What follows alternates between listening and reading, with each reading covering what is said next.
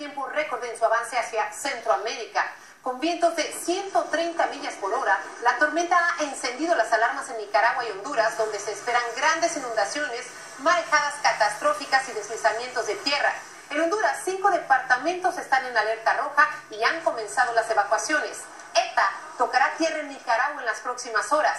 La cantidad de lluvia acumulada podría llegar a 30 pulgadas y la marea podría subir más de 12 pies. Al regresar en